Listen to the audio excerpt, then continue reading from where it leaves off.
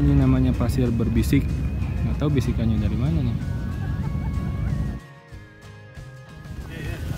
Dia mendingan kuat.